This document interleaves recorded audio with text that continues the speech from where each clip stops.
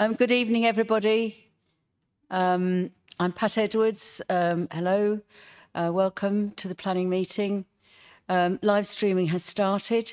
Um, and when we take a break um, today, uh, the live streaming can't be turned off. It's at the moment running in that particular way. But I'll remind people at that point so that we don't have conversations that go live that we don't intend to have. So if I can uh, start the meeting. There's no fire alarm planned for this evening. Should the alarm sound, please leave via the nearest available emergency exit. Two of the closest exits are through the glass door behind you to my left and through the double doors to the riverside behind. Um, please muster at Café des Amis. Members of the public are welcome to make their own recordings of the meeting using whatever non-disruptive methods they think are suitable. This meeting is being minuted and recorded and will be audio streamed via the Council's website. The Westgate Garden gates on the riverside are locked, so members of the public must leave the Guildhall by the side exit behind the glass door.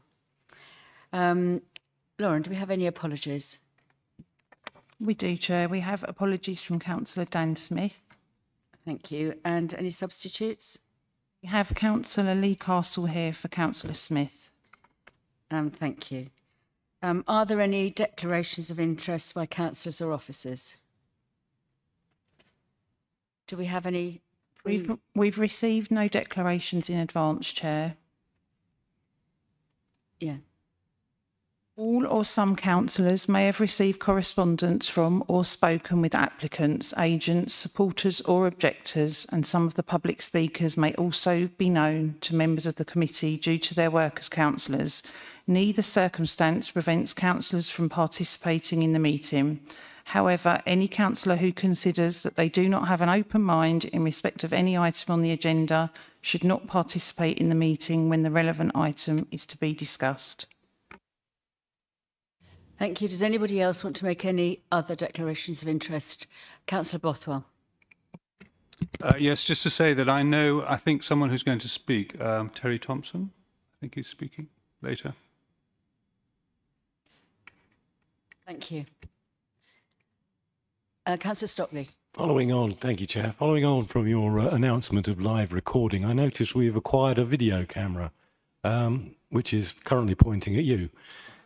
Could you explain a little bit about that, if you wouldn't mind?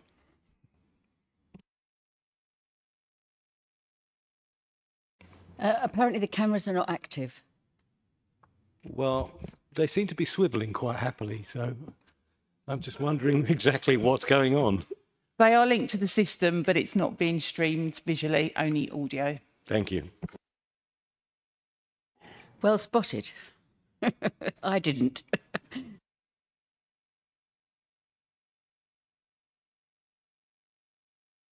Councillor Corrales. Just following on from Keith, I suppose all the Labour councillors know members of the public who are going to be speaking tonight, some members. Thank you.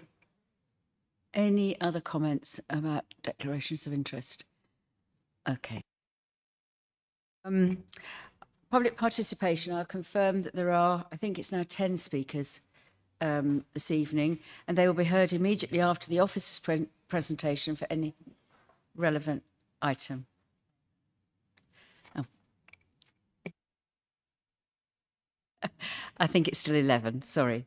Um, I thought somebody had um, out. Um, so could we go to the minutes of the meeting on the 17th of October 2023, pages 6 to 11 of the pack? Um, if we could confirm it as a true record by general assent, I'd be grateful. Could I have an indication? Thank you very much, colleagues. Um, so then we move on to um, the application number CA23 00379, land south of Thanet Way, which is pages 12 to 54 in, in your pack. Um, I'm just going to note for the record that Councillor Peter Old will leave the chamber for this item and take no part in the debate or vote, as it has been agreed that he is predetermined in this case. Thank you. So now could I ask the um, Deputy Planning Manager, Andrew Gambrell, to introduce the report, please. Andrew, thank you. Just waiting on it. Just waiting on it to come on screen and then I'll get going. But thank you, Chair. Good evening, members.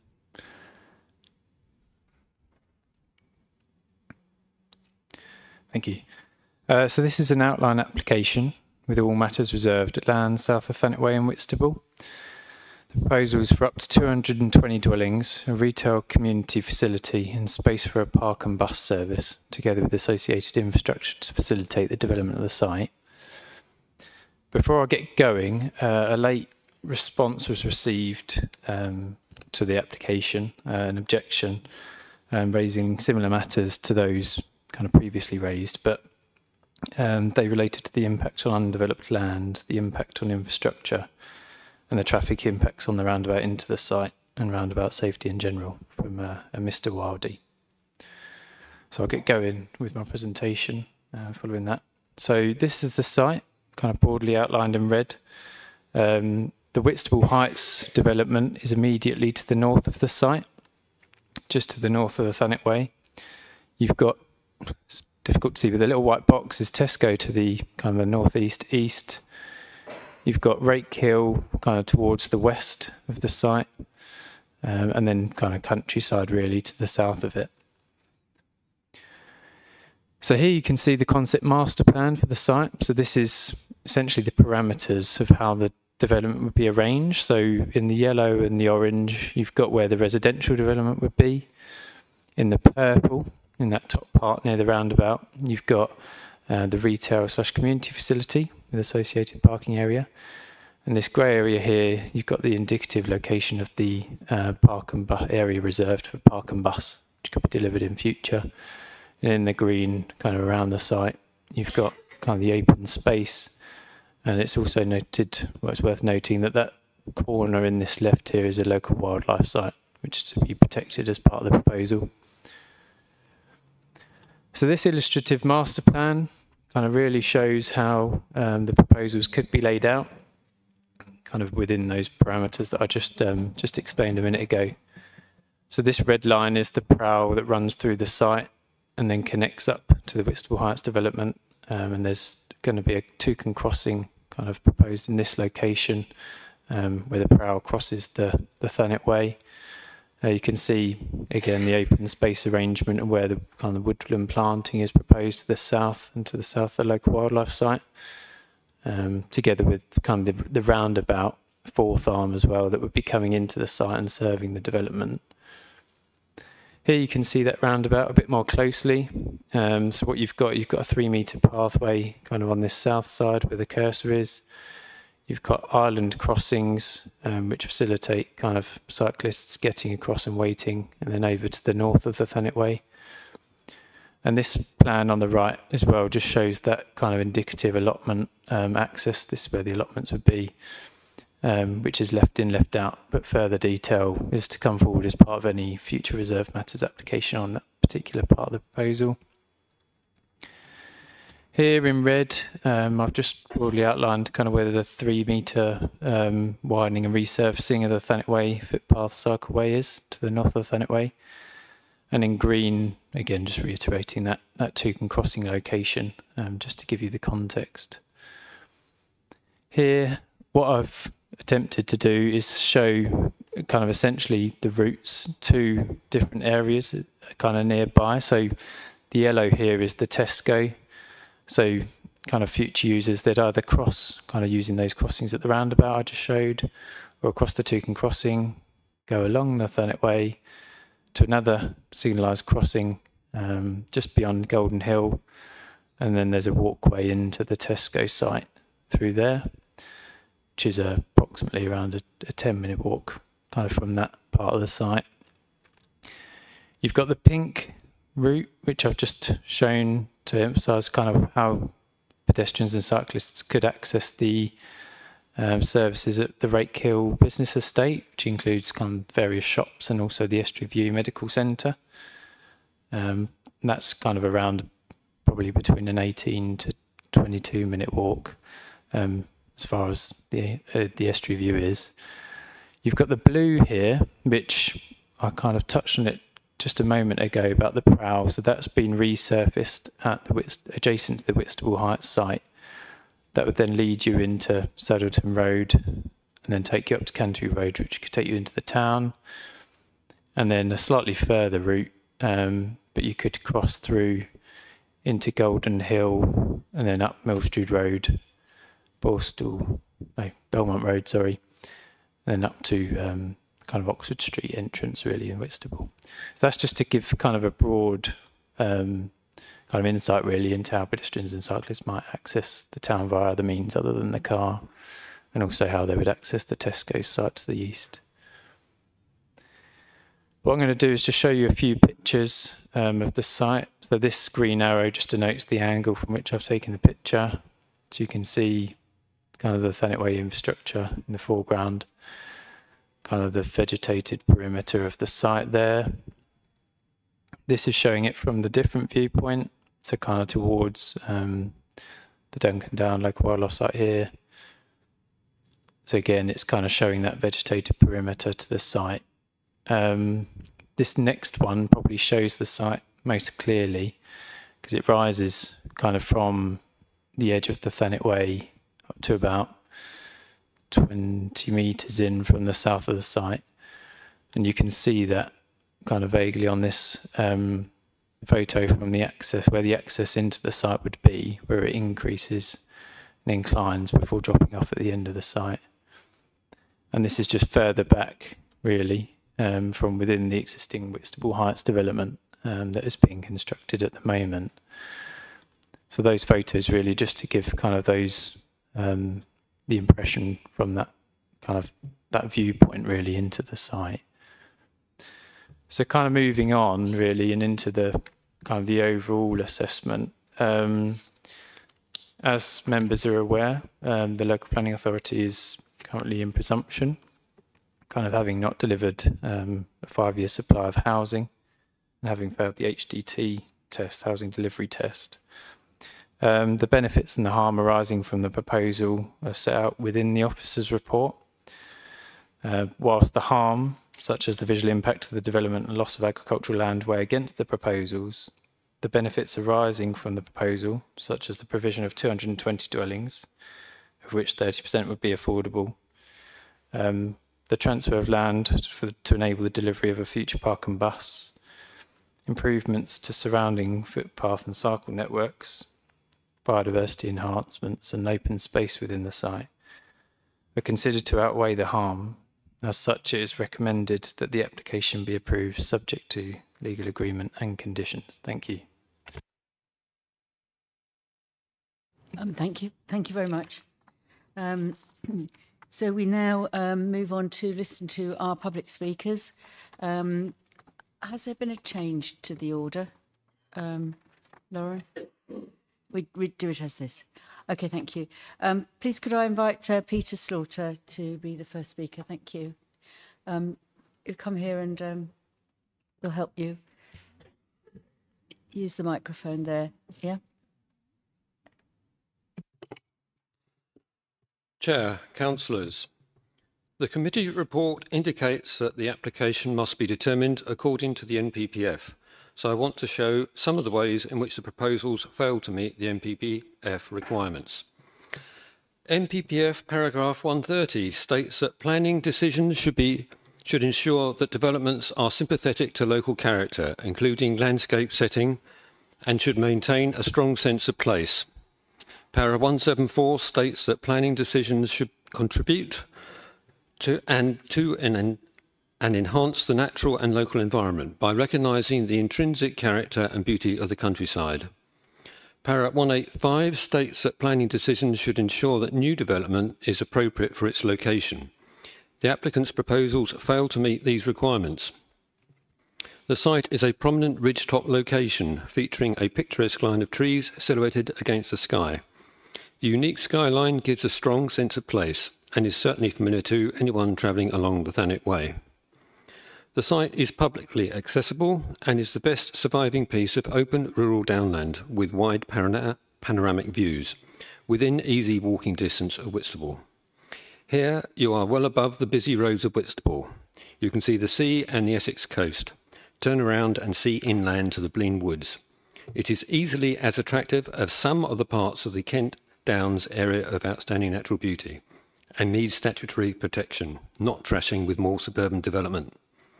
The site can be seen from well over a mile away, adjacent the Blean area of high landscape value. From there, you can look across the site and see the sea in the distance. The applicants may promise to plant trees to screen their development, but you would never be able to ensure they survive long term. Recent experience from Duncan Down is that only 1% of trees planted by developers survive their first year. These issues should demonstrate the proposals would significantly outweigh any benefit from providing 220 houses in this field. They could be provided somewhere more suitable. NPPF paragraph 112 states that applications for development should give priority first to pedestrians and cyclists, both within the scheme and in neighbouring areas. The applicant scheme fails this test. It will increase traffic capacity of the Wraik Hill roundabout, thereby, thereby adding to already increasing flows at the Borstal Hill roundabout, whilst also adding to likely pedestrian flows. The application does nothing to address the known and documented hazards for pedestrians and cyclists trying to cross Borstal Hill there. The application should therefore be refused permission unless the applicants can provide an acceptable solution. Please note that the applicants have not assessed the adverse impact of their proposals on pedestrians and cyclists around and between the Borstal Hill and Wraik roundabouts. These should be investigated before any decision is made on granting permission. Thank you. Thank you. Um, could I ask Valerie Kenny to come to speak next? Thank you.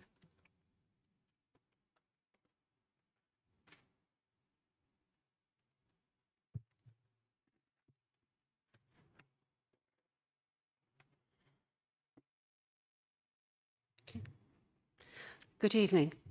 I'm speaking to you both as a resident um, who lives off Thanet Way and has lived there for nearly 20 years, and as a previous councillor of Gorrell Ward. I am deeply concerned about the application to build even more houses along the Thanet Way.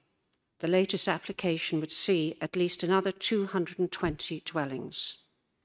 I am deeply concerned about the impact of such dense housing on our lives, our health and our well-being and the continuous impact on our already failing infrastructure and lack of public transport. The site lies outside of the town boundary and is countryside. The plot has been farmed continuously since 1797 and in normal circumstances it would be refused by the council, HD4 of the plan, unless development was for agricultural use. The last 10 years has seen the Council permit development on the land north of Thanet Way, Whitstable Heights, and three further sites, Church Road and two sites either side of Harriet Lodge.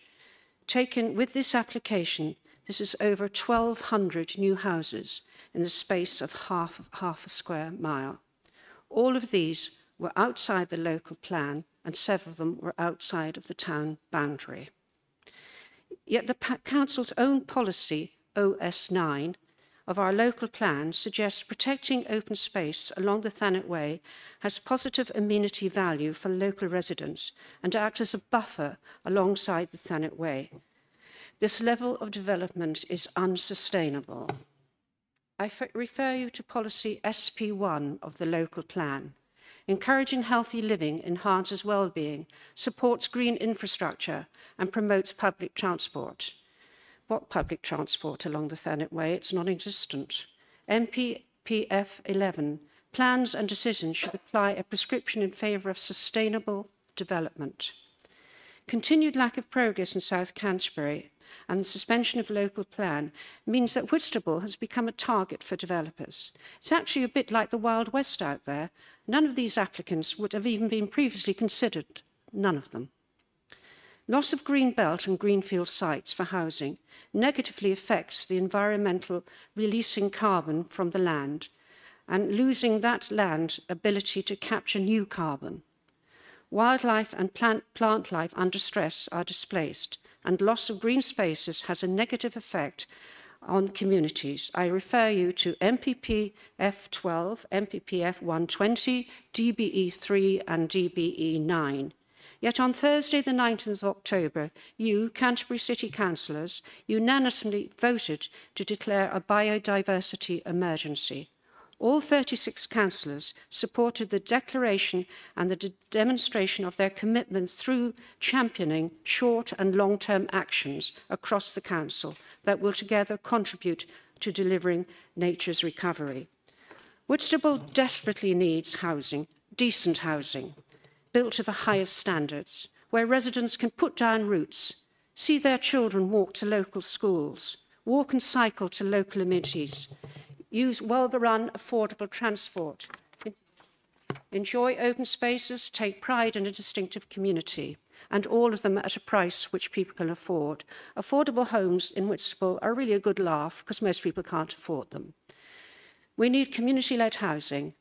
We need um, better transport. We have very bad transport. I urge you to look at housing as a cohesive whole rather than these one-off applications.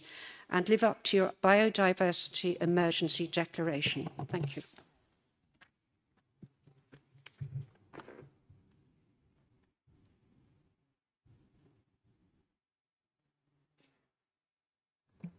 And um, Alan Nutton is our next speaker. If you'd like to come forward, thank you.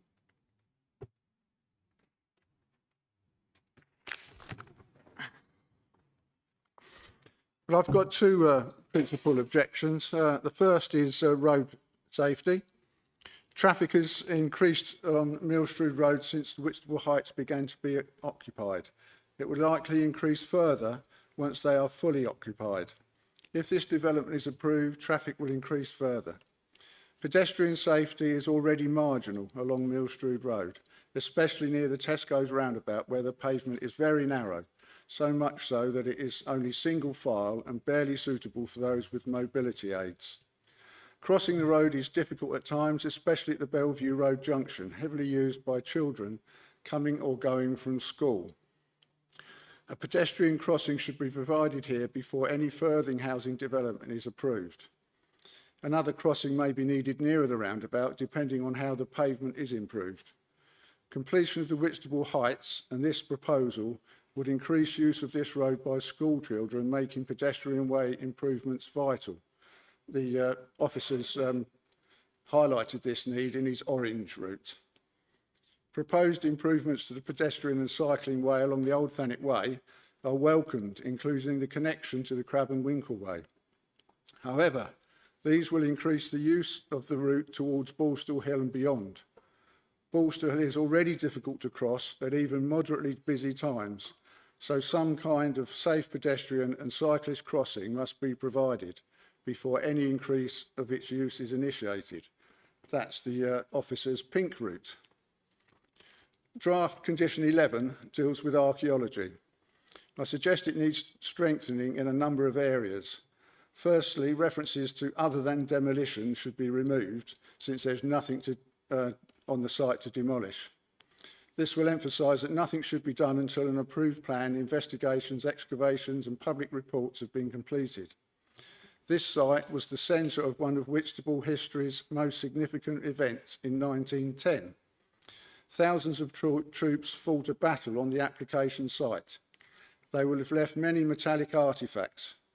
I don't know whether the site has been detected in the past, but to discover what artefacts remain, the archaeological requirement should include a systematic metal detecting survey before any field survey is undertaken.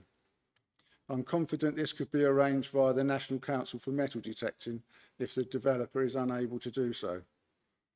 I'm rather cynical about the completeness of planning archaeology requirements to date. On a recent site, I could see from the road a number of trenches appear to have darkened areas. These might suggest earlier excavations of for middens, huts, ditches, etc., but the trenches were quickly backfilled and construction wasn't far behind. It is vital that the archaeology on this site is properly investigated and reported open to public scrutiny before any development is undertaken or approved. Sustainability issues like sewage, schools, surface water, etc., have been covered by others, even though I'm concerned about these, I can't fit them into my time slot.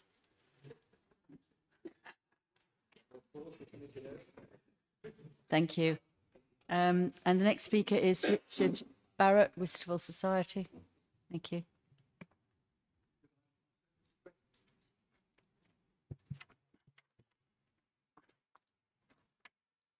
Chair, councillors, I'm making this presentation on behalf of the Whitstable Society and I'll specifically focus on highway safety and congestion. The effects of this application on the Old Thanet Way is of particular importance. This is the major artery for Whitstable and congestion on this road can lead to difficulty in entering and leaving Whitstable as well as increasing traffic on residential roads and in Whitstable town centre.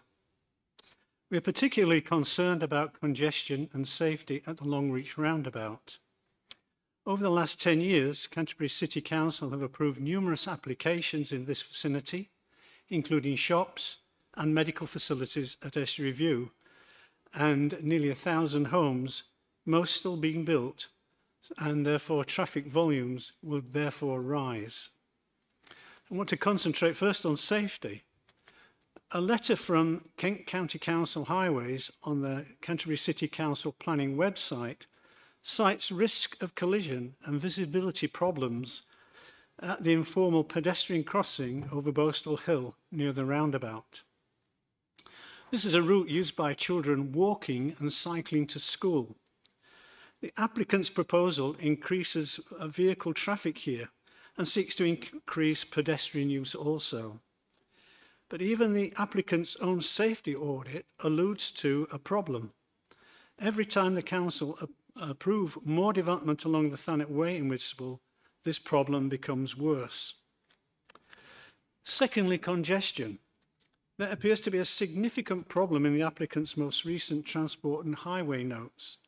This predicts average traffic queues, uh, average traffic queue length on Borstal Hill will be less than those that we see today, and significantly less than the measured queues in the applicant's original transport agreement.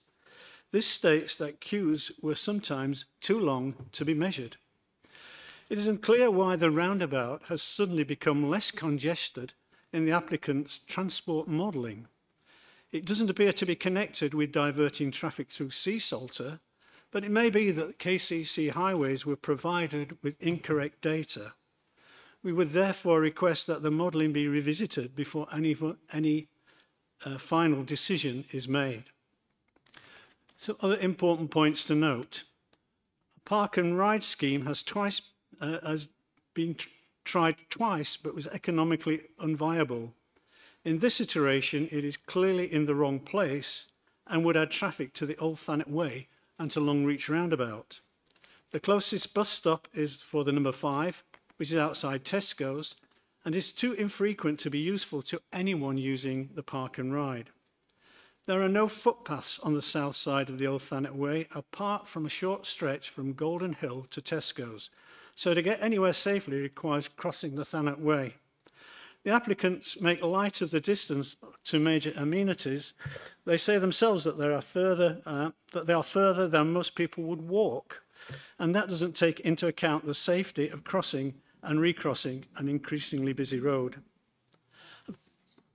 Yes. Finally, this development is not connected to an overall local plan that takes into account the need for all residents and is not a sustainable location. In conclusion, apart from the unproven effects on congestion and displaced traffic, this application will be detrimental to highway safety at the Longreach, Longreach roundabout. Uh, and this will be contrary to the NPPF and we therefore ask that you reject this application. Thank you. Thank you. Um, and the next speaker is Neil Body, Thanet Way Residents Association. Thank you. Hi, I'm speaking on behalf of Thanet Way Residents Association.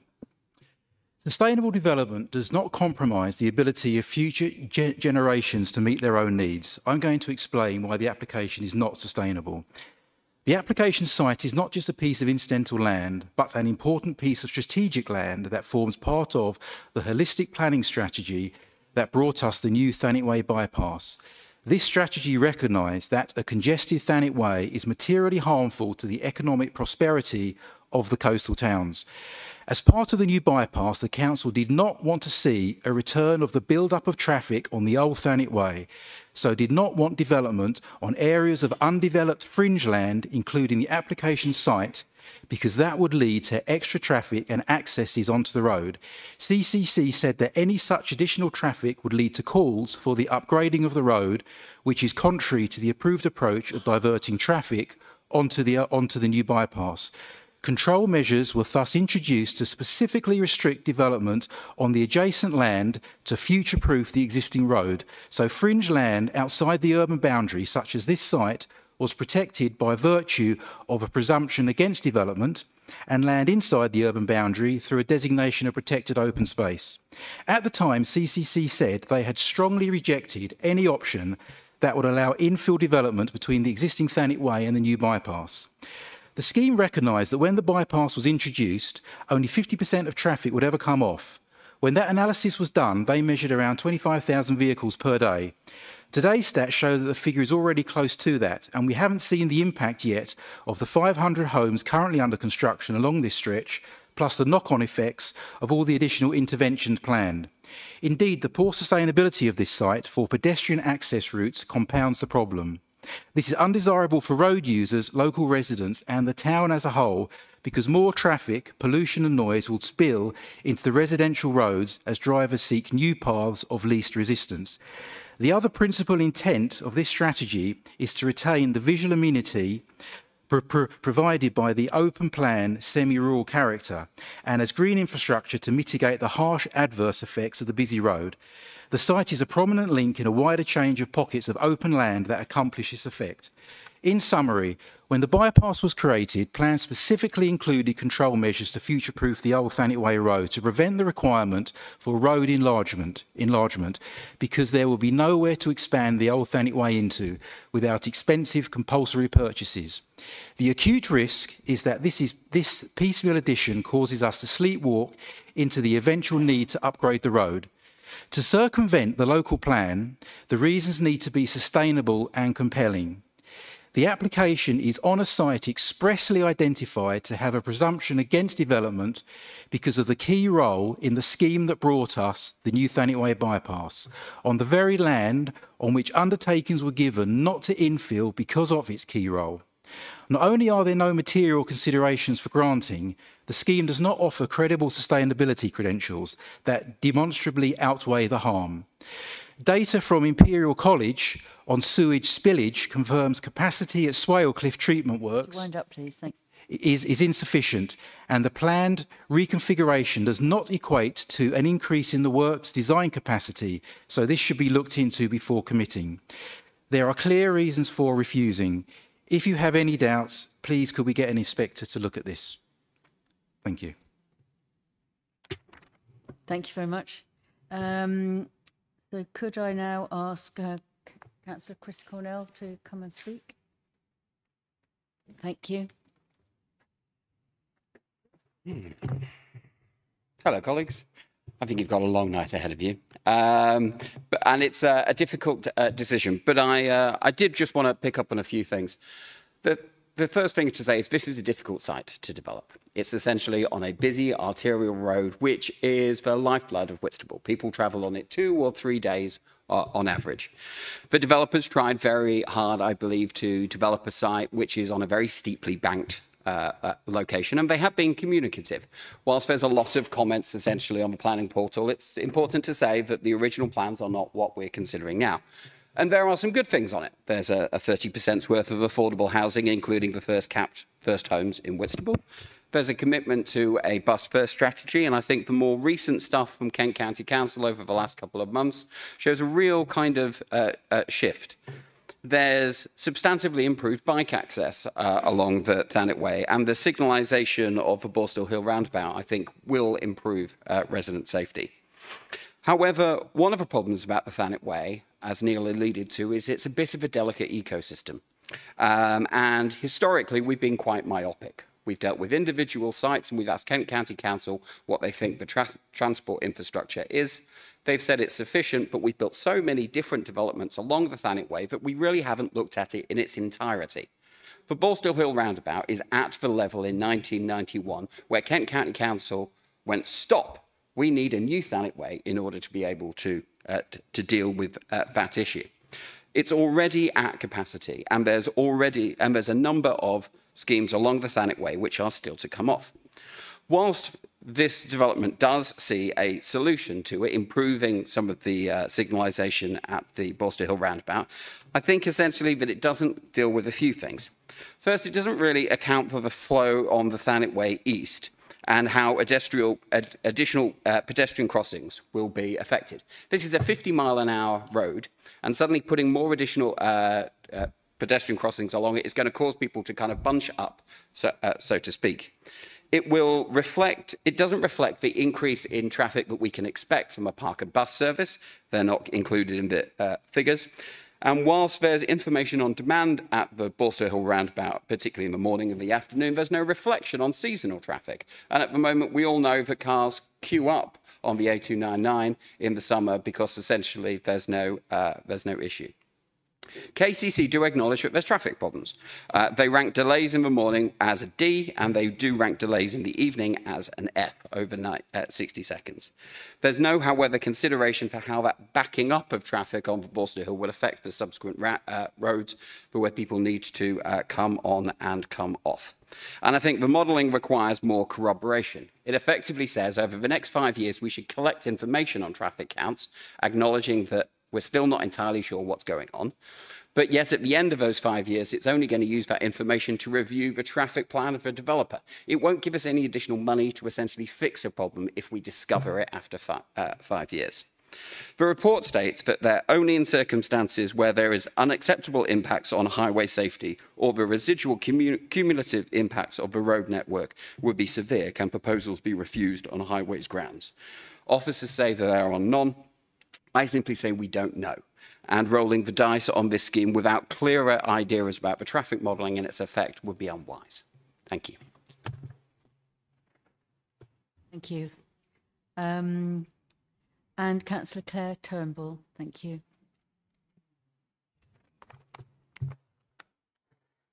Good evening. Um, I'm speaking as Councillor for Gorrell Ward this evening. Um, you've heard a lot of detailed arguments against this proposal tonight. A lot of people are concerned about the incoherent sprawl of development around Whitstable and have worked very hard to consider the impact that this and the many uh, planned and future proposals will have on our town and our residents. I'm aiming to give some more general observations back for background. Whitstable, of course, is a very compact town centre served by a single narrow linear main shopping street. Continually adding on and adding on housing is unsustainable for our town. It also results in housing developments with no real identity of their own, no local doctor, school, shops and cafes in easy walking distance. For all the talk of increased walking and cycleways and possible bus routes, which aren't yet guaranteed and will depend on financial considerations, the reality is that most people will get in their cars to shop, take the kids to school and go to work because those facilities are not otherwise convenient. It's true that housing is desperately needed, but does that mean snatching at opportunities to put a load of housing on a piece of land? Is that sustainable? The new local plan is an opportunity to take a good look at planning for the benefit of the district and put quality of life and environment first, ensuring that housing mix responds first and foremost to local need. The NPPF says one of this one strand of sustainable development is social. This presumably means creating communities, not housing outposts of a small nearby town, which is already under immense pressure. The benefits of this site are, presumably, providing housing. As it's not primarily the, des the desperately locally needed social housing and starter homes, I argue that the harm to the local area does not outweigh the benefits. My main objections to the sustainability of this application are also environmental. Uh, we've heard in terms of roads, the traffic is increasing on the Thanet Way. This is without Whitstable Height being anywhere near complete. With other developments in the pipeline, pressure is going to increase. There are regularly long queues coming along from the 299, and having a park and bus on this site will not alleviate those problems. In terms of sewage, when the report reads that Southern Water says that they can facilitate foul sewage disposal to service the proposed development, it means that it is possible to connect the development to the sewage system. It is not a statement related to their capacity to ensure that they stop sewage outages into our sea and rivers. The system is already overloaded. A couple of points on the conditions. Uh, biodiversity net gain. Why is there no mention of this? The site is partly justified because it is in the draft local plan and it will be started when the new plan is live. Let's get ahead with the pro-environmental conditions we are committed to now. Hard surfaces must be kept to an absolute minimum, both to minimise surface water runoff and to give opportunities for planting, and must be permeable to encourage drainage, including the proposed car park. New homes must be built to the highest possible standards of insulation to control energy usage and costs. Overall, please consider this application in the light of all the other developments planned around Whitstable. As Chris argues, the cumulative impact of piecemeal developments is not sustainable for our small town. Thank you. Um, thank you. And Councillor Steve Wheeler. Thank you.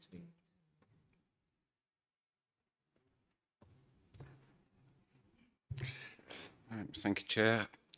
Members of the committee, I shall be brief. You've heard many fine and detailed arguments against why this shouldn't happen. I'm just going to put something that's very common sense. I can't find a single person in Whitstable who's in favour of this. In fact, I can't find a single person in Whitstable who's in favour of the Whitstable Heights development. They say this has ruined Whitstable already. Okay, and they live there, so they should know.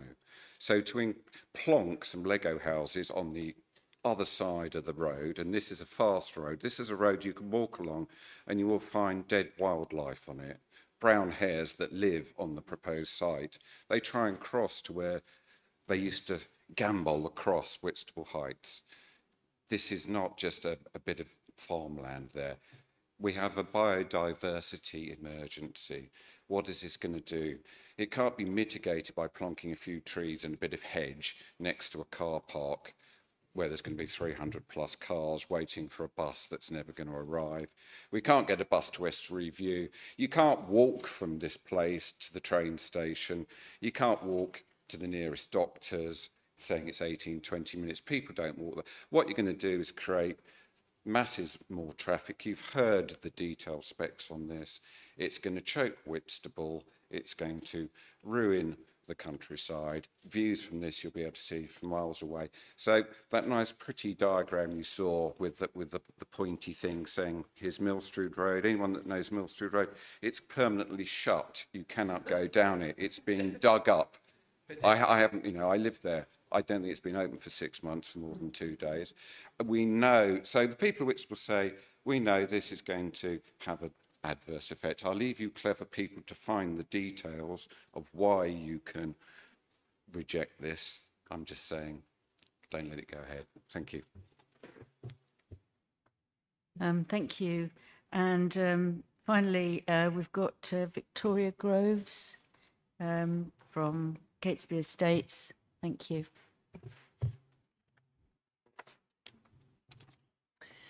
Good evening, Chair, Councillors. It's not the intention to repeat the detail within the comprehensive report prepared by your officers. However, there are a number of matters which I'd like to highlight to the committee tonight. This development will deliver green homes. We've committed to delivering net zero carbon ready homes, which will meet the future home standard in advance of the 2025 government timetable. This means the homes will be all electric and will be fitted with solar panels, air source heat pumps, A-grade appliances, EV charging facilities and rainwater harvesting devices. The development will deliver much needed policy compliant affordable housing whilst respecting the surrounding environment. The new homes will be set within a green and lush environment which encourages walking and cycling and provides direct connections onto the local bus and footpath network to assist with easy access to nearby key facilities and the town centre. Off-site highway works include upgrading 1.5 kilometres of footway along Thanet Way to provide a three metre wide shared footway cycleway along with funding to provide additional improvements to pedestrian and cycle linkages to the town centre. We're also funding the local bus service and providing a new bus stop on Thanet Way. There will be a regular bus service which will provide access to the nearby facilities, railway station and the town centre. The on-site green open space accounts for 44% of the total site, The proposals will provide both equipped and informal areas of play, as well as important landscape planting to achieve a 26% biodiversity net gain. These proposals will provide community benefits for both the existing and new residents. There is a proposed 400 square metre area which can accommodate either a new local shop or community facility. The proposals also include the provision for land for a future 300 space park and bus facility. This is a long-standing ambition of the council and is in reference in the adopted local plan. This car park will form part of a wider strategic transport strategy to assist with alleviating congestion in the town centre. Visitors to Whitstable will be encouraged to park at the car park and catch the bus into town. There is also the opportunity to provide bike hire facilities to take advantage of the improved cycle connections and linkages onto the Crab and Winkle Way. We're also providing new allotments to meet identified local need. We believe this application will deliver high quality um, homes within an attractive green environment, as well as provide much needed affordable homes and genuine community benefits. Thank you for listening and we respectfully request you support your officer's recommendation and approve this application. Thank you. Thank you. I think we've actually had quite a lot of information from everybody and there's a fairly lengthy report to discuss. Um, so I'm not rushing to the proposal, but suggesting that we have some discussion to absorb um, everything that we've heard. That's quite a lot of material. Um, so I'd like to actually open this uh, application for general discussion um, and uh, your opinions. Thank you.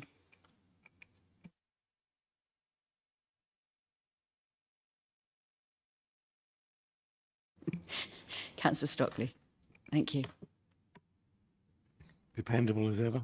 Um, yeah, the bus space, the 300 proposed parking spaces, um, we've heard that uh, on one side there are no buses, and on the other side, the developer is proposing, presumably, to fund a bus service. That's the impression I got from the last speaker. I'm wondering, this space is going to be an eighth of the total area, the car park. If there are no bus services forthcoming, is it going to be left green? You know, what's what's planned for this space? Because obviously, immediately there are no. You know, we've got stagecoach, bless them, um, and we haven't got any buses. So, what's going to be, assuming planning permission is granted, what will this be, space look like before the buses arrive? Thank you. Um, thank you. I'm going to ask um, Andrew to answer. Thank you, Chair. So essentially the intention for the park and bus area you saw in that plan is for it to be transferred to the council so that the council can pursue kind of an opportunity in future to deliver a park and bus or a park and ride service.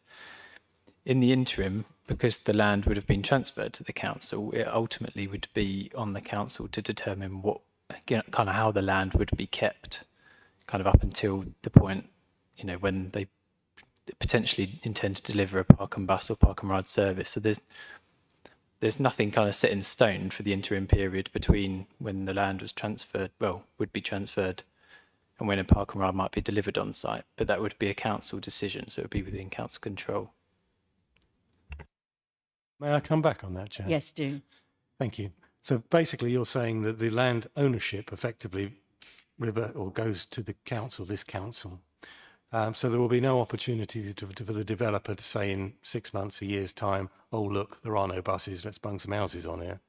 Um, also, I'm concerned that we might get some security fencing stuck up round it, a massive collection of litter and, uh, you know, obviously for wildlife, we need open spaces, but that large area in the middle of this development fronting the Thanet Way, if left to its own devices, is going to look like an eyesore. So what I'm asking for is some commitment from this council as to what they're going to do with it.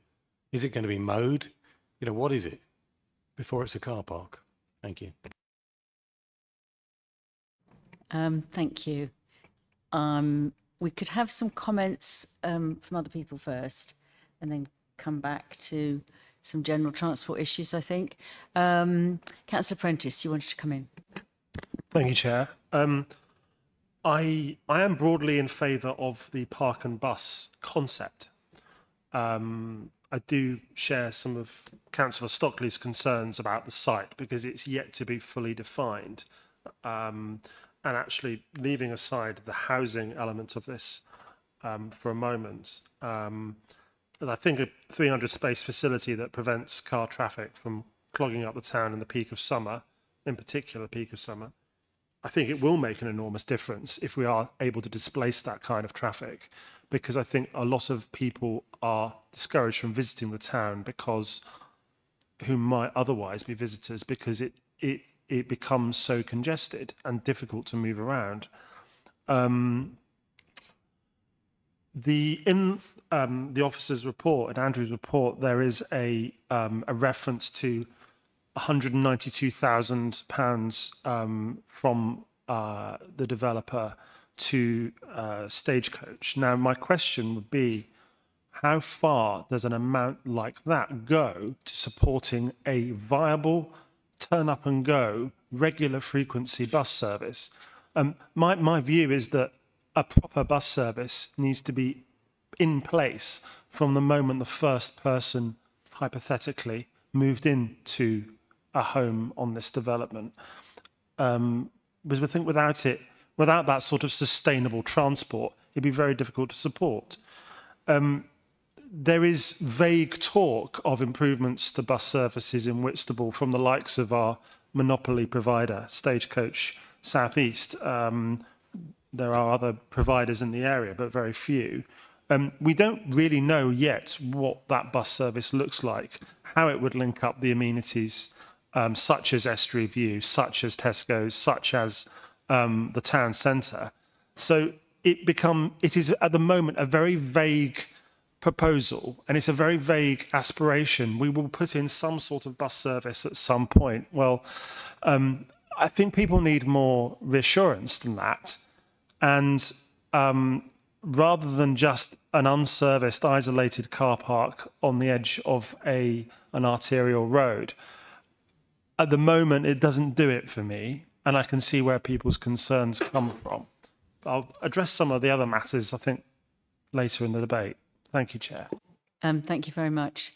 Um, Councillor Mackenzie, uh, next person. Thank you, Chair. Um, I wanted to pick up on one of the more dry and legislative bits, I think. So, the in the officer's report, it admits that this proposal doesn't actually adhere to policy SD4, and it doesn't fit with uh, the criteria laid out for HD4. Um, so they justified that this development would be built outside of the urban part of Whitstable, despite not fitting with the rural criteria in HD4, because it's directly adjacent to the urban part of Whitstable and there's easy access to it. But I'm not sure I can really accept that justification because it's like if I was going to park a car, would it be right to park it on the grass verge next to the parking space because it's directly next to it? It seems a little bit, you know, tenuous as as a justification to me. So I'm not really sure we could call this compliant with local plan policy, is what I want to say. So could that be clarified? Um, I think we have to be really clear that we're not, we're in presumption in terms of the current local plan. Um, and there are several paragraphs in this that address that, um, Councillor McKenzie, And uh, so, in fact, we, the fact that it is, you know, outside the urban area, the fact that it doesn't comply with that is not actually a consideration that we can take today, unfortunately. Um, we're in that situation. It's, it's not one we want to be in, but uh, but that's where we are. Um, could I? I think there's a number of other people. I have a couple of comments myself. Um, so uh, let me see. Um, well, okay, I've got a few people. Just let me have a look at order here. Um, uh, Councillor Mellish, then Councillor Castle, then Councillor Bothwell. That's the order. Thank you. Thank you, Chair. Um, mine is just really is a, is a short question in some ways. We've had a lot of contradiction and information about transport, about traffic rather, uh, along the stretch between uh, Longreach and, uh, and Borstal Hill. Um, and it seems that I would like to, I, I would like some more information about the transport modelling that was used. We've been told that there's going to be less transport despite the development than there was uh, early information about what the, the use of that of that uh, stretch of road. Um, I'd like to know about how how it was used, how that sort of information about less transport is possible, less less cars, less usage, um, given that we're going to put up over 200 houses uh, on that site. Thank you. I'll take another these other couple of comments and then add a couple of my own and then I think come back. So if you could make a note of where we're going with this. So that was on the transport modelling. Thank you. Um, Councillor Castle. Uh, thank you, Chair. Just just a quick comment. I'm reading through the documents. Um, obviously, I'm substituting for Dan Smith. It's Very hot on the environmental side. It was mentioned by a few objectors. Is that Southern Water specifically said they haven't got a problem at the Swalecliffe site, but it's quite publicly known only in September of this year that they are discharging into the sea. Um, I've actually got the data, which is 22 days worth, 529 hours of sewage. Um, so these 220 houses, if the data was multiplied up, would add 1.4 million hours um, litres of sewage to the to the sea there. So I'm slightly confused how the consultation can say they're quite happy to take on those extra homes. So I just wanted to query that. I think it looks a bit disingenuous of Southern Water to say we've got capacity when they clearly haven't and they publicly admitted it and paid a fine. So I was slightly confused about that in, in the officer's report. Not on his personal opinion, obviously Southern's, but thank you. Yes, quite complicated things about what capacity the we, we'll we'll ask um, for that to be clarified as much as we can. Um, and Councillor Bothwell. Thank you, Chair. Um, just uh, three just questions of clarification, really. One is the location of the allotments. Um, doesn't seem to be the best place for allotments to be right alongside the the old Thanet Way when they're growing food with the air pollution uh, in that location, and I wondered why that has been selected, uh, and wouldn't be better for the food growing to take place elsewhere. Also, it seems that it has a separate vehicle access, uh, which could presumably lead to greater traffic problems just just before the roundabout, um, which doesn't seem to be ideal from a traffic point of view. Uh, second point, although I'm familiar with garden cities and the principles of garden cities, I wondered whether the condition, proposed condition saying that development should be built according to garden city principles is a technical condition. Uh, Is there a particular document that uh, would be referred to in that um, in imposing that condition?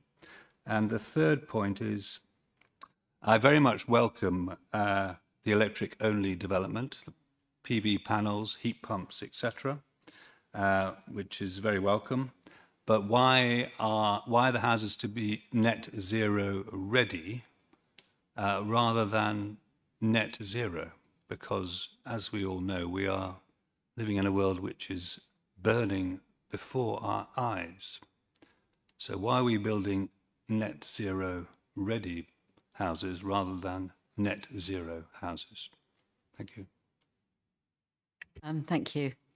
Um, we can cover all of those things. I just wanted to make a few comments myself. I mean, I I felt that um, we heard some good things from the applicant to meet some of the issues.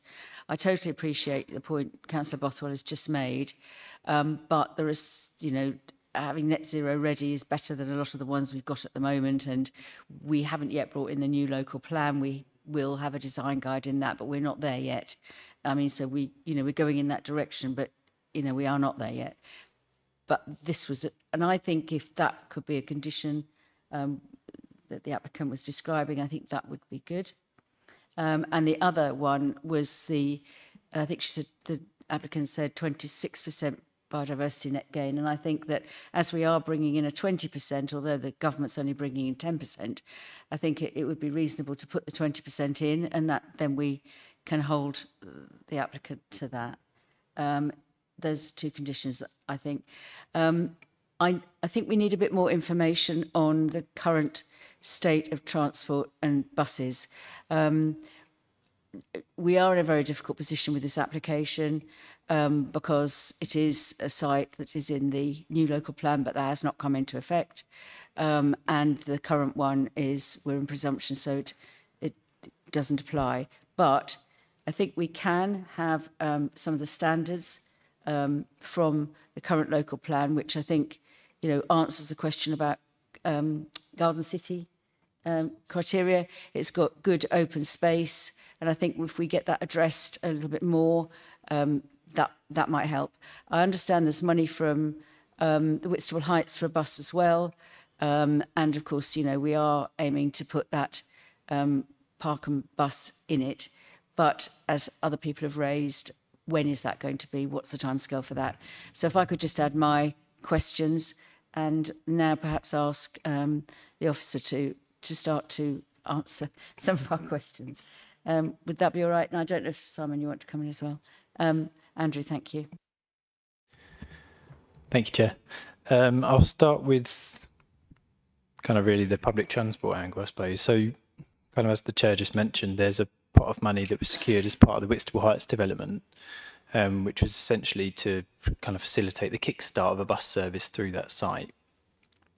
The 192,500 that is referenced in the report would essentially top that amount up. So that's at the moment there's no certainty necessarily around kind of where the bus will go and kind of how it would move. But what this application is seeking to do is essentially contribute towards that pool of money so that it can facilitate kind of the KCC and stagecoach negotiations to secure a bus service in the future. So that's kind of where that's looking really.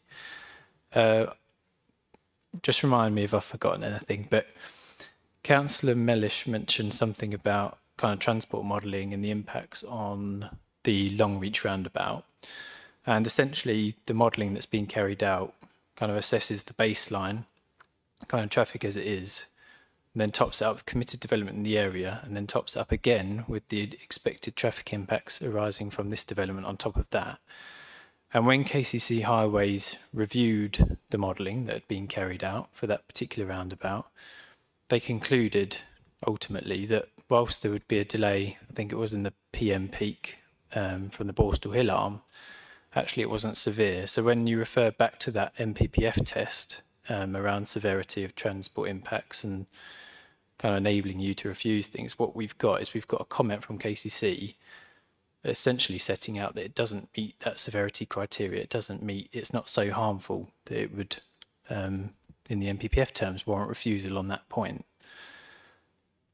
Um, what I'll do, I'll move on to the Southern Water point. So you're right, Councillor Castle, they, the Southern Water did refer to um, being able to accommodate the development.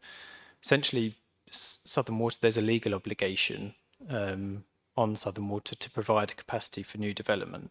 So it's not it's not necessarily something in planning terms we have control over because it's covered under separate legislation. Um, so really, that's kind of the point around foul water. So Southern Water, they have to provide they have to provide a connection to new development. It's a legal obligation on them. Um, there was the point around the left in, left out in the allotment and the possible transport impacts arising from that. So that was something that KCC flagged initially, um, kind of people coming in east, kind of from west to east, turning right into the allotments and it holding traffic up kind of on the westward approach. So basically the applicant amended the plan so that the allotments ultimately will be a left in, left out arrangement the detail of that. So we've got the basic principle left in, left out, so that people wouldn't necessarily stop the traffic. And the further detail, kind of around visibility, etc., would be secured at the reserve matter stage. So that KCC Highways would review that access into the allotments um, at that point. There was also the point, I think, about the position of the allotments. Um, it's just kind of, you typically see kind of allotments next to kind of busy roads and junctions. Um, I know that there's one in Tankerton that's kind of next to the Thanet Way. You've got one in Herne Bay that's next to the Thanet Way. So it's not kind of a peculiar location for allotments. It's it's fairly typical. So there wasn't necessarily an objection to the location of that. Um, and then there was also the point around the net zero ready, and rather than saying net zero ready being net zero, um, we've secured an energy strategy condition essentially following the principles of the existing energy statement that was submitted, which is seeking the 100% improvement above Part L building regs um, for 2021 on carbon emissions. Um, so any future development, we would expect to meet those aspirations. That's that's what they've set. That's what they've told us at the outline stage. Moving forwards, obviously technology will advance and will get better. Um, but ultimately that's what we're intending to secure. We're intending to secure those improvements above building regs pile. Um, yeah, that's really it. I think. Is there anything else, Chair? Uh, no, I think that's fine. Um, do we have any other queries, uh, David? Uh, uh, sorry, Councillor Thomas. Thank you, Chair. Um, a few comments and questions. I mean, the biggest problem that we've got on this area and this site is because we are in presumption. Um, and we've got the situation with Stodmarsh, which means basically the only development we have in this district is Whitstable, because that's linked to Swalecliffe. So that's why these sites are coming forward, because we can't refuse these sites because they're they're, they're coming forward because we're in, in presumption. The government say we've got to build, and we, we're not building enough houses in the district, and a lot of that is down because of, of the situation with the water. Um, a couple of questions and a couple of comments, I suppose. When you're looking at um, the park and ride access, I'm assuming the the site will be allocated for the 300 vehicles as shown on the plan. I'm assuming the buses need to access that site from the Thanet Way going into the site to get onto the actual park and ride area where people will park. So a couple of comments there. So you're going to have a, you come in from the Thanet Way at the moment, you the, the ideal situation would be to have a, a, park and ride on the industrial site, but that's that's the, those sites are gone. So we've missed an opportunity there of, of actually gaining some land. On that side of it, is on the new local plan that's coming forward, is there a, a provision for a park and ride site for Whitstable? Because if it's something that's needed, this is an opportunity to actually gain a site for that. If it's deemed we don't need a, Whitstable doesn't want or doesn't require a park and ride site, then that, that goes out the, out the equation because if it's not needed, it's, it's irrelevant because it can be a dead duck. But that is also going to increase the traffic flow of traffic. It won't decrease the traffic flow coming off the slip road. So you're still going to have traffic delayed off the slip road because they will come into Whitstable anyway because it's a popular town. What it will increase the traffic flow of possibility of up to 500 vehicles, 300 for the park and ride and 200 for the residents, from the, from the actual site here at the moment towards the, the uh, Longreach roundabout. So that will increase that, that roundabout, and which could make that roundabout dangerous or more more pedestrianised. It's very difficult. I mean, loads of people have spoken tonight, and councillors have spoken tonight, and where the planning committee to decide whether this goes forward or, or, or doesn't, or gets gets gets um, overturned. The, problem is I'm not hearing any real reasons for refusing this application, and it's partly because we're in, in presumption at the moment. So I don't really have any comments apart from the park and ride. If that's on a local plan, it's something that we're looking for Whitstable, then that's a bonus. If it's something that's not needed, we've been offered something that we don't actually need. I don't know what's coming forward. Thank you, Chair.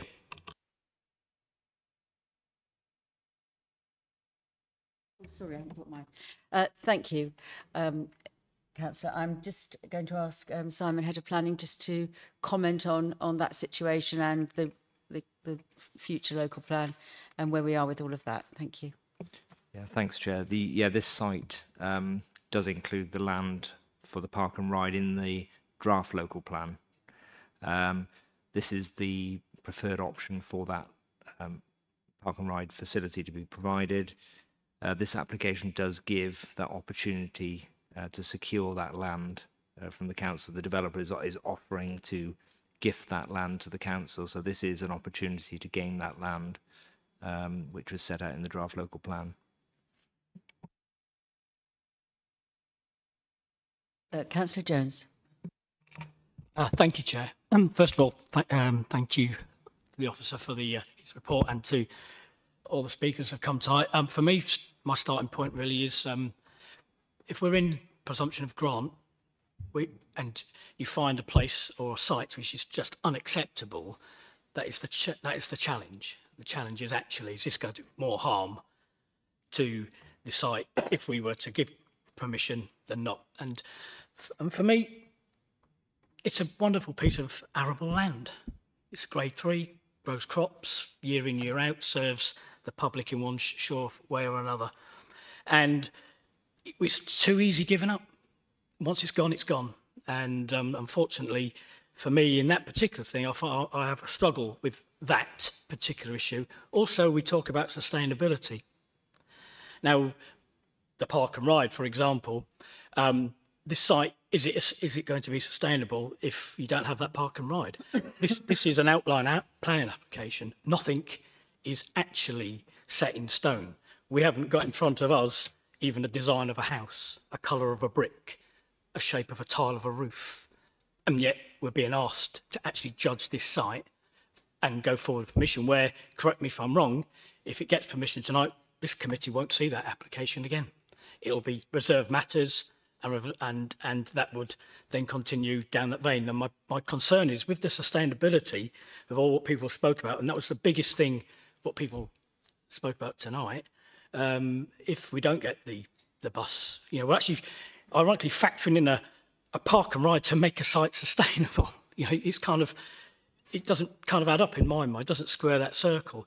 You know, people will, if they go shopping, I know the area really well, Tesco's. No, no one's walking at Tesco's to get their shopping. They might walk to pick up a paper, but they'll go in a car. It, it, for me, it's not a sustainable site. It's a perfectly good arable site for, and like it has been since I think someone mentioned the 1700s. And, I, and just listening to everybody tonight and my colleagues and the colleagues here, that's how I feel about it. I feel that there, I'm not a NIMBY it's not the right site to build houses on, there's my view.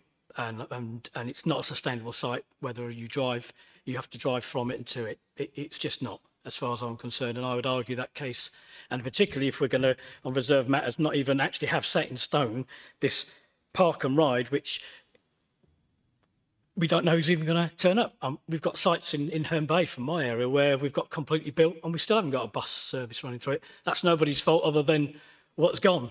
So I'm not convinced. I'm not convinced you can make it sustainable, even by giving people £500 vouchers to either buy a bicycle or use public transport. It doesn't, it doesn't stack up for me. Um, again, the positives, and I'll be Mr. Negative, the positives, I think the builds of the house with solar, electric energy, affordable homes, but that's another issue. I've never known affordable home in the last 10 years. You're getting Whitstable, to be fair. But the commitment to it is a good commitment and the commitment to the style regarding the heating and uh, electricity in the houses is is a good commitment we can secure it so that's my my personal views and my feelings on it thank you yeah um, thank you very much uh, councillor jones um, i think there's a couple of things we, we probably do want to say on this which is that um, the oh, sorry oh sorry I, I'll just yeah um, which is that um, the the the park and bus is not to make the site sustainable. They're two separate things. This will be part of a legal agreement, and it's it's part of our longer term, as it were, our uh, you know the the council's strategy to have um, park, park bus uh, sorry parks um, with bus or park and ride um, as they are in Canterbury um, in um, in sustainable sites. And this but it's not to make the site sustainable. That's what i'm trying to get at. They are two separate things. That would be a legal agreement.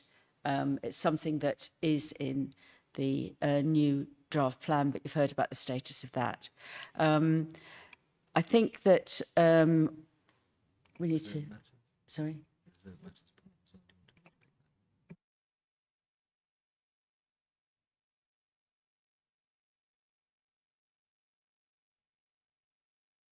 Um, Councillor Stockley, would you like to come in now?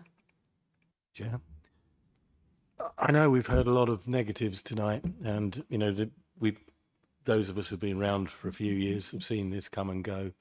Um, we know for a fact that we can't refuse on the grounds of transport, whether that be because of congestion on Borstal Hill or whatever, because KCC are the roads authority and they model it on their computer and the computer say yes everything's fine. The residents won't believe it. Um, to be honest, neither do I. But we can't refuse on those grounds. There are very few grounds we can actually refuse this development on. Personally, looking at this development, I've looked at it very thoroughly. I would be delighted if this development was taking place in my ward rather than the development I have got. You know, the, the sustainability of it is a vast improvement on most developments we've seen recently, in my view. We need houses. If we don't build it here, as one of the speakers said, build it elsewhere. The problem is where? You know, it's, it's not, Robert Jones said that this is a marvellous piece of agricultural land. That's what we've got, agricultural land. We haven't got hundreds of brownfield sites. We haven't got the areas that are crying out for development or improvement, shall we say. You know, so I, on balance, I think this is a good development. It does annoy me when we see indicative plans on the screen with about 12 houses. That's not 200, 220 houses illustrated on there, not unless I'm going blind. Um, the other point I'd like to make is it's come to my attention that we have got issues with road adoption in developments that have taken place. I believe the uh, golf course is one of them in Herne Bay, where roads are being adopted slowly, if at all. And of course, that leaves problems with whose maintenance, who's reinforcing traffic regulations, etc.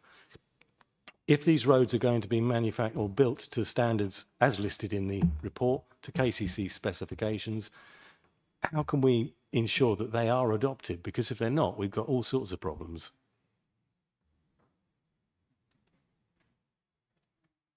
I've got a lot of sympathy with the, those points, as you know. Um, yes, we have got too many developments where the adoption of roads and the way in which they're being built is not working.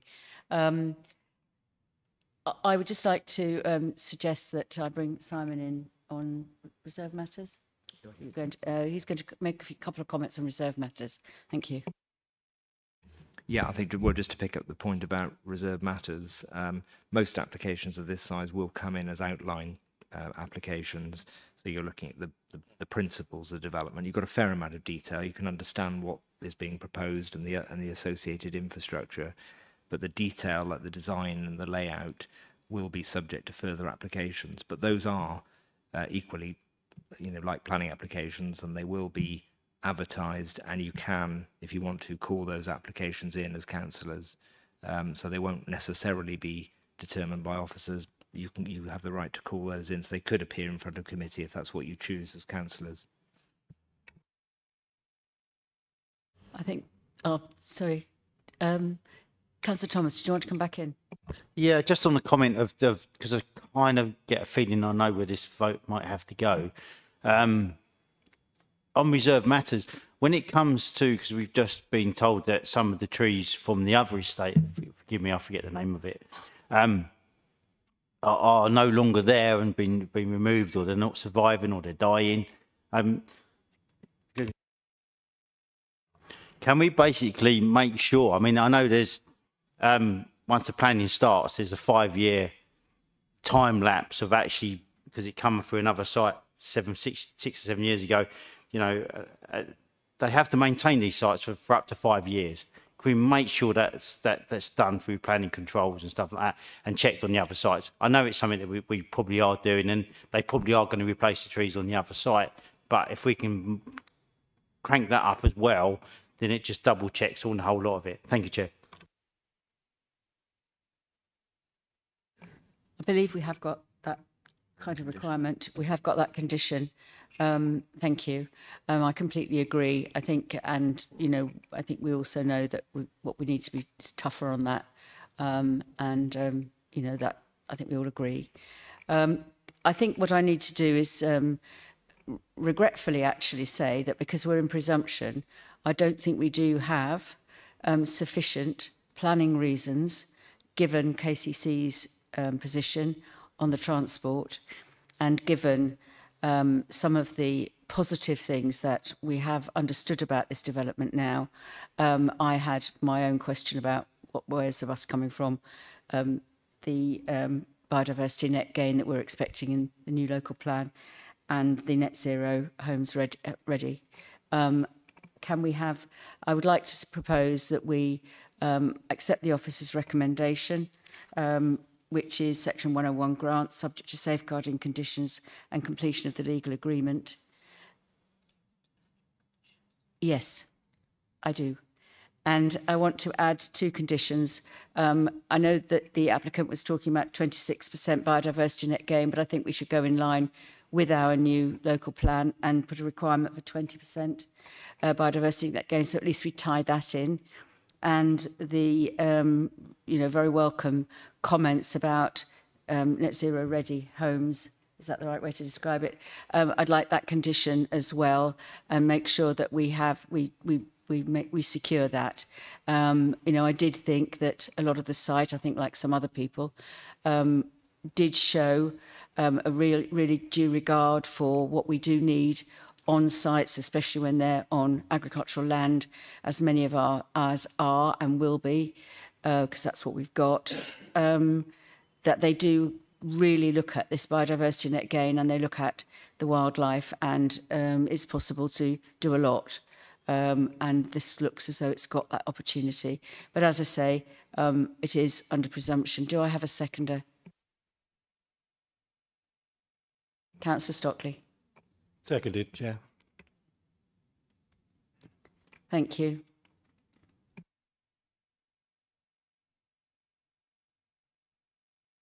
No, can I make a comment before we go to the vote? Yes, you can comment before we go. Sorry, Chair, I know this is too late. It's, a, it's the wrong way round, really. Um, what I was going to propose is actually as one of the conditions moving forward, whether we can actually um, put in a pelican crossing along the Thanet Way, as we've had done on the golf course estate. I know you've just proposed it and seconded it, but I'm just asking if that's if that's something that we can actually condition on this site. Um, we've got the Toucan crossing. Shall I let the, uh, let, let the officers um, speak to that point? Thank you. Yes, that's right, Chair. There's a um, a Toucan crossing going in across where the public right of way was, signalised Toucan crossing. If that's crossing in a centre reservation, is it not? Or are you No. talking? I'm I'm I'm requesting as one of the conditions would be a pelican crossing at that site across the Thanet Way, so people can access across safely. Because if we don't put it in now, we're never going to get one.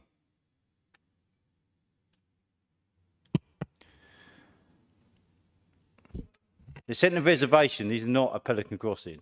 I'm, I'm just requesting it as a condition. Um, can we just clarify this? I did look these up before I came, but, but I think I should let the officer uh, reply to you. I can share my screen actually, if that's easier, with the um, Toucan crossing that actually they're intending to install. I don't know if you can see that particularly well. So that's the Toucan crossing um, that would go basically from the site to the north of the site. It's a very basic image, um, but essentially it would stop, you know, traffic would be stopped and people could cross and cycle across. So that is going to be a pelican crossing. Toucan. A what? Sorry. A toucan. It's like a pelican, but not like a pelican. Can I just Basically, comment? is it? Can I just comment? It's it's better because it's absolutely suitable for cycling as well as walking. And that's why it's two can. Sorry, I looked it up. I thought, you know, I, I can I have a bit more clarification on that because I don't know what you're talking about.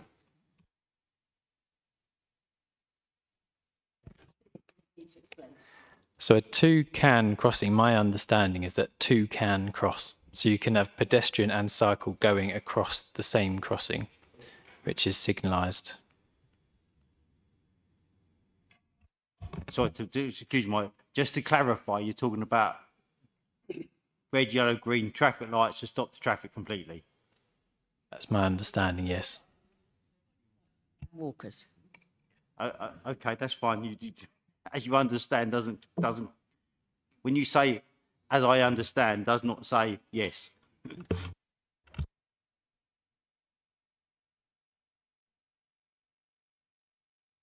Um, sorry, I think we need to bring other people in. Uh, Councillor Prentice and then Councillor Mellish. Thank you, Chair. Um, in my remarks earlier, I mentioned that um, I was unsure about the arrangements for the bus service. Um, I would just like to reiterate and, and ask whether this could be a condition that the bus a bus service is in place a, proper regular bus service is in place before the first residents moved into this development.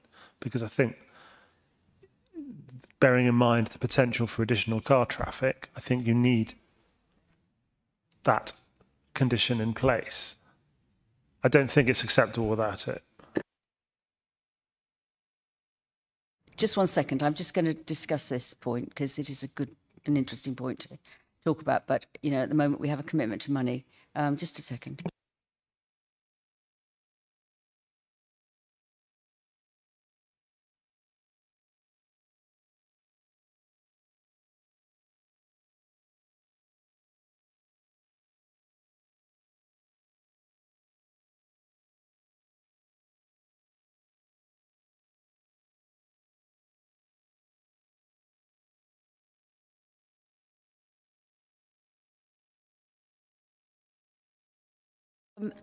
I, I think um, uh, Simon Thomas is going to give us a, um, an explanation about what we could do about that. It's not quite what you suggested, but it's something. Yeah, thank you, Chair. Um, we, we have around about 200,000 contribution from this site, and there's around about 300 from the Whitstable Heights as half a million contribution. Um, KCC and Stagecoach um, are, we understand, in discussion. Is that right, Andrew? Um, they're in discussion about um, using that money to kickstart a bus service, uh, but we don't have any. There's been no conclusion to that yet. What we could do, if if committee um, wished, is um, you could uh, re re um, resolve to ask me to write to Kent County Council to express um, the uh, desire of the planning committee for them to reach a conclusion that would result in uh, a bus service being provided before first occupation, so we can express the, the, the views of the committee. And could we put that in the committee minutes as we've yeah. and in, as an informative? Yeah. So we'll put that in the committee minutes. That's a commitment then. Could I come back on that and say I, I would like to formally propose that and and, and suggest that that happens. Uh, thank you, Councillor Prentice. Thank you. I've got two more to come in. Um, Councillor Mellish, then Councillor Carr Ellis. Thank you. Uh, thank you, Chair. Just um, obviously accepting your, your uh, direction about the presumption in favour of this proposal, but there are many around this chamber uh, who have serious disquiet uh, and opposition to this proposal. And I'm, and I'm wondering where, how we might actually show that, that, that opposition, uh, whether how that can be registered. I assume you would wish us to vote in favour, um, or because at the moment I'm minded to vote against. Uh, but um, that's not an option, it would seem. Um, so how would it, how do we register both within within the the midst of this meeting that we are seriously concerned about the the proposal, uh, and how do we say that the decision has been taken out of our hands because of the KCC position?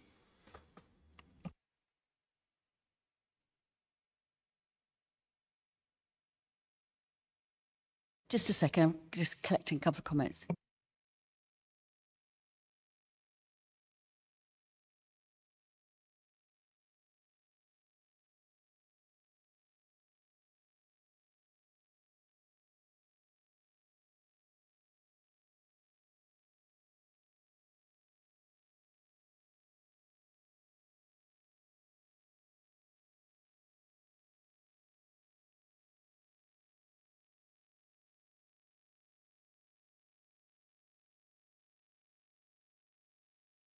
Uh, is there anybody else who wants to make a comment before we move to a vote? Oh, sorry, Councillor Carr Ellis, sorry, apologies. Yeah, I just want to back up what Councillor Mellish says. It feels very much because we're in presumption as if we can put conditions on this and yet we ultimately don't have a say. I would just also like to say, contrary to what Councillor Thomas said before, this is not purely because of Stodmarsh, this is because of 13 years of Tory failure to build enough houses and especially the last administration to build enough houses. While we're talking about conditions, I would also like um, to address KCC to ask if they would turn Thanet Road into a 30 mile an hour rather than a 50 mile an hour limit. If we are having people walking along there and cycling along there, we cannot have cars speeding by at 50 because we all know they don't go at 50. They'll go at much faster. So I would like that to be put, in too. Thank you, Chair. It might be that you would write that letter, because that's a lobbying letter.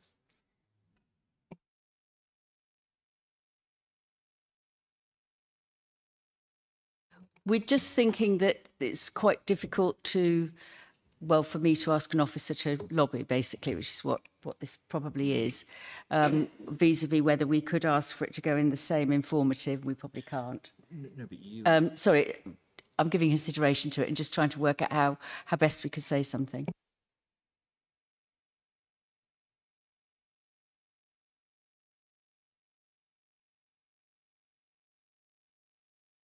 Um, I think what I want to say is that I did try and explain when I put the proposal. Oh, sorry, did you want to come in? I missed you. Councillor Franklin, I, I missed you, sorry. Yeah, no Please worries. Thank in. you, Chair. Please come in before I sum up. Um, yeah, I think with this proposal, you know, I've the houses and that I'm quite happy with, especially with how sustainable and they are, as well as with the uh, park and ride that's being proposed in this. However, I think with the effects on transportation and the fact it's being built on grade three agricultural land, I, you know, I find it so um, daunting the fact that we are being imposed on this. Um, uh, by a national target because we're in presumption right now, and so I shall be uh, abstaining in protest of the fact that we are not happy with this site, but yet we're compelled to by uh, presumption.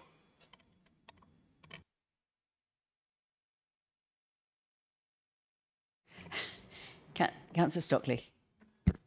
Very briefly, I wonder if it would be helpful for this committee if um, we would have an explanation of what will happen, assuming that we refuse this application. What will the procedure be if, the, which is likely, the developer then goes to the government inspector? What will the council lose? What control will we lose? What are the what effects will that decision have on this development? Thank you. Well, if I could venture to say that at the moment we don't really have planning reasons to refuse, and I've put the proposal to um, support the officer's recommendation, I would. Um, I mean, the, the the first thing that would happen would be that we couldn't put the conditions on. Um, we couldn't require an inspector to do what we would want to do, um, and that obviously is a, a one thing that we are trying to nail a few things down. Um, and, um, you know, if uh, we were to lose the proposal um, to grant, um, somebody's got to come up with some pretty good reasons. Otherwise, we've got costs as well, which, you know, because we won't, you know, because we do need substantive reasons um, under the circumstances we're in. I mean, I, I am very happy to say that, you know, and get in the minutes that we do regret the fact that we um, are in a, the situation we're in, in presumption. Um, and on the other hand, we are attempting to get, you know, the, the good quality um, uh, that we have been assured can come with this development into um, the conditions, um, in addition to the conditions that the officers already proposed. Um, I really think I need to move. okay, one more, one more. Uh, we need to move to the vote. Um, Councillor Bothwell, I'll give you one more. You haven't said very much. Thanks. Um, yeah, thank you, Chair. Um, several councillors have mentioned that this site is not sustainable, um, but I would ask the question, what site would be sustainable? Um, we have approved sites 20 times bigger than this for 20 times as many houses uh, and 20 times as many traffic movements and 20 times as much environmental impact elsewhere in the district. Um, they've already been approved. So this is a relatively small site. Uh, and if these houses are not built there, they'll have to be built somewhere else. And where is a better place to build them? Everyone is going to object to housing in their locality. Um, I think it's very rare that anyone will ever be in favour of local development. Thank you. Thank you. Could I now put the um, proposal to the vote? Um, the proposal is to um, uh, Section 101 grant, subject to safeguarding conditions and completion of the legal agreement. Uh, we've got two conditions, 20% biodiversity net gain and net zero ready homes, and an informative um, about KCC um, speed limit on that road. And um, I will write to KCC on behalf of the committee about the speed limit, which I'm sure local councillors and um, uh, county and city councillors can um, pursue um, and probably is you know really important considering toucan crossings are only only one crossing and there's a big road. Um, so could I please take the vote? Lauren, are you ready to? But thank you. Thank you very much.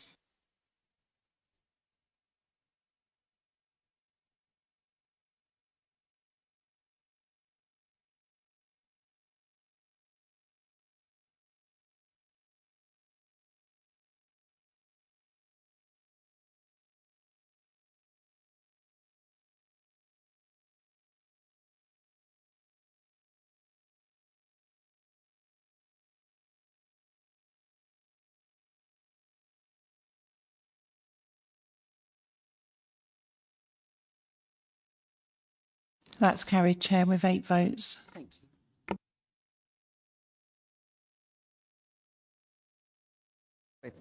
Um, it's eight for, one against, three abstentions. Thank you very much, everybody. Um, we'll now take a five-minute break. Just remember that the live stream will be running to allow members um, who came for this particular item to leave and a comfort break. Thank you.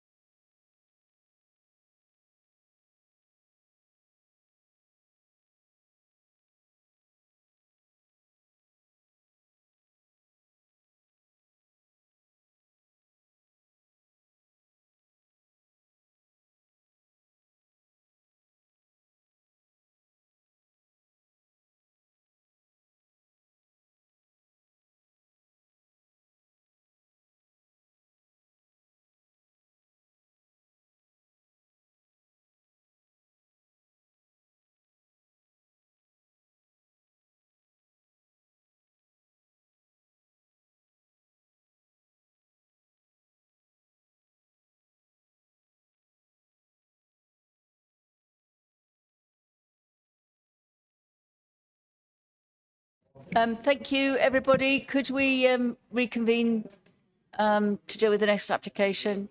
Thank you.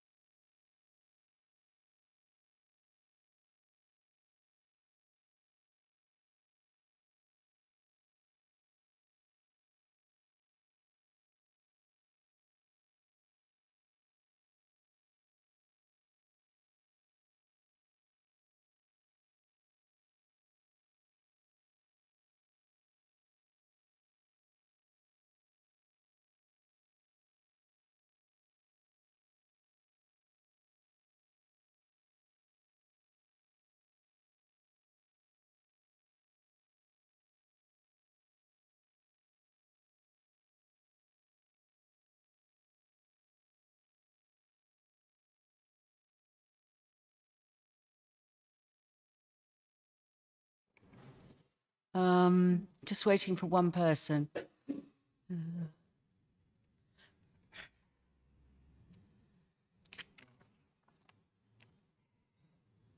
Don't really want her to miss any of it. Hmm? Oh, good. Oh, good. Right. We can um, move on to um, the application number seven, um, which, uh, sorry, item number seven, which is application number CA 22-02540, Maytree Paddock, Hawthorn Corner, pages 55 and 67 in your pack. Um, and could I please ask Planning Officer Kelly Tonkin to introduce the report? Thank you, Kelly.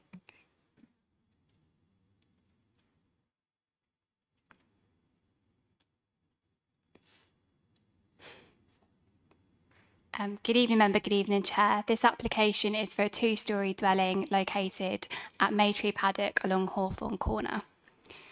This application site formed part of a larger site and has since been subdivided. Um, the application that we're considering tonight is for the northern section of the site. Um, to the south of the site was a previous planning application which was granted planning permission at appeal. Oh, sorry. Uh, what should we do? What can we do? There's a screen here. This one's working. Uh, do you want to get up and move nearer a screen if you can't see it?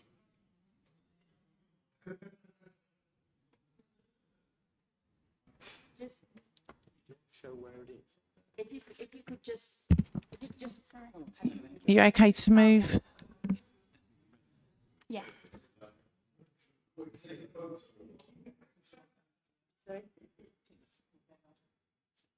Are we okay now? Everybody see something? Um, okay, um, Kelly, you can carry on. Thanks. Great. So um, the application site's outlined in red, and as mentioned, it was previously formed a large part of the site. The application site that we're considering today is within the red outline, and it's located here. And I'll show you on the next page where that dwelling's located. Um, the southern section of the site was um, subject to a previous planning application, which was granted plan permission. Um, the application recommends a, um, is represents a departure from the local plan, given its location outside of the urban boundary of Herne Bay. Um, the southern part of the site was subject to a planning ap- appeal process, in which inspector considered that the site is not isolated. As you can see here, there's um, a cluster of dwellings located along Hawthorn Corner, and as such, it was considered acceptable location for that instance, as well as being compliant with policy HD4, um, in which the sustainability credentials um, outweighed the harm. Um, here is the proposed block plan for the site, as you can here, see here, which is where the new dwelling is to be located. Um, given the inspector found the application to be acceptable in principle, given it's um, not isolated dwelling, and alongside that the council is also in presumption of sustainable development and its proximity to the Hillborough development as well, the application is considered to be acceptable in principle in this instance. Um, here are the proposed elevations of the dwelling. Uh, this replicates the design and sustainability credentials of the dwelling that is also located to the south of the site.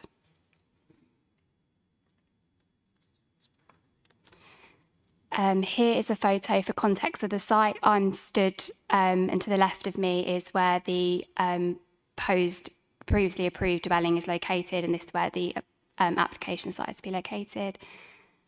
And then this is me stood within the site, um, looking across to where the previously approved dwelling is located, and it's currently under construction at the moment. Um, as set out in the, in the officer's report, the application is recommended grant subject to safeguarding conditions and legal agreement. Thank you.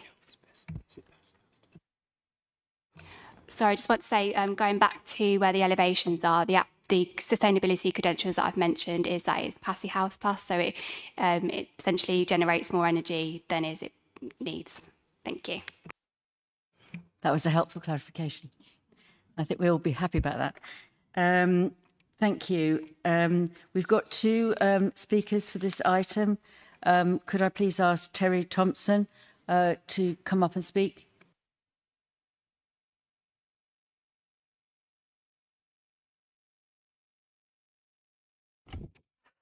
Uh, good evening. I was going to read, but I haven't got my glasses and I can't see it very well, so I'll do it off the cuff. That's all right.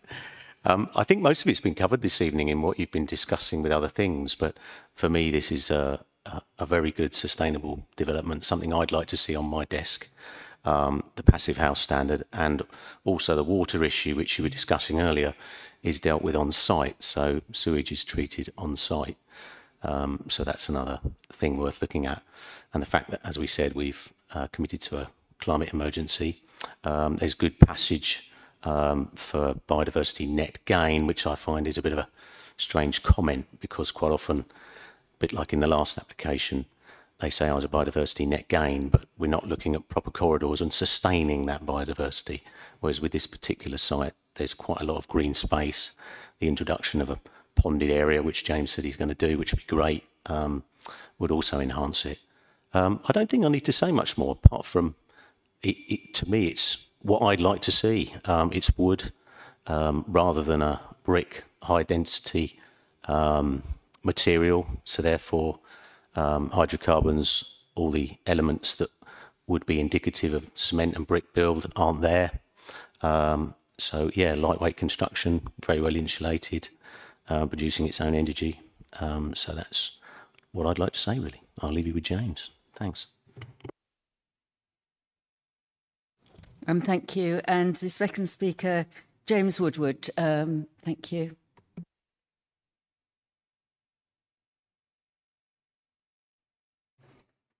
Thank you, councillors. Um, well, this is my site. I had the first one done, um, but it took so long to get planning over five years.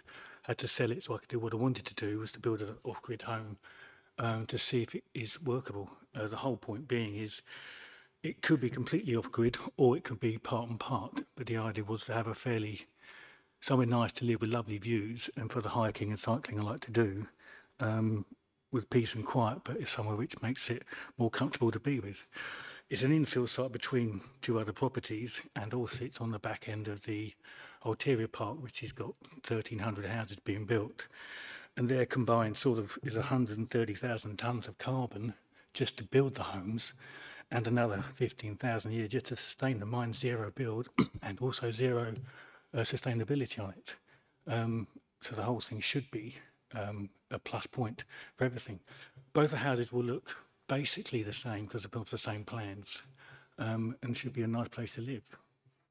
Apart from that, I mean, it's very, very, very difficult to get self-build properties done. There aren't any I've seen at all in the Canterbury district on your ever plans you have. There aren't any at all. And this has had two, and we had a huge problem when we sold the first one to get it to be on the self-build plot apart from that, like I say, it's not a salubrious site. It's got sewage works one side, Thanetway the other, but it does have nice views over the farmland into a cove and the sea until it gets built on in the future, I'm sure. But at the moment, that's what I'd like to do, is do something positive. That's me, I'm done. Thank you. Thank you very much. Um, um, so I'd like to propose um, uh, to support the officer's recommendation um, to Section 101 grant, subject to legal agreement and safeguarding conditions. Do I have a seconder? Is, uh, Councillor Carr Ellis seconding? Thank you. Um, does anybody? Oh, sorry, I'm turning myself off before I. Anybody um, like to um, uh, comment? Um, so I've got Councillor Stockley and then Councillor Bothwell. Thank you. I think, uh, you know, as we've heard from Kelly, that uh, this really is acceptable as far as the inspector is concerned. So we are in a position, and to be honest, you know, we're talking about a, a very sustainable property. Part of me thinks that we could probably get a, a few dozen uh, affordable homes on this plot, but uh, it's not our plot to build on. But uh, you know, it, it sounds like a brilliant idea, and personally, I'm for it. Thank you.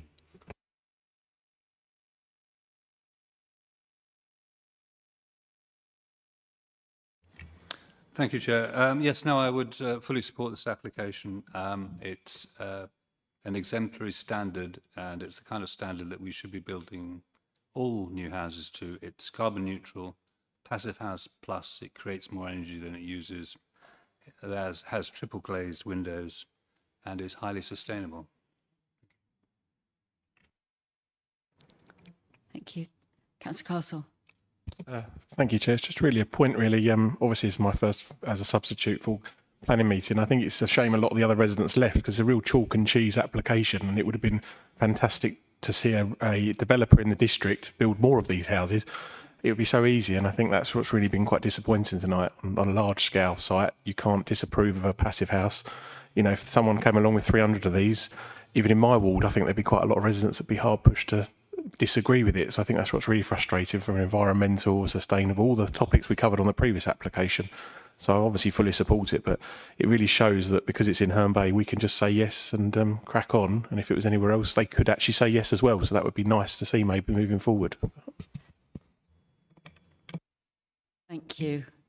Um, so if there's no other comments, I'd like to put this to the vote. And um, a vote for is a vote to Section 101 grant, subject to legal agreement and safeguarding conditions. Thank you.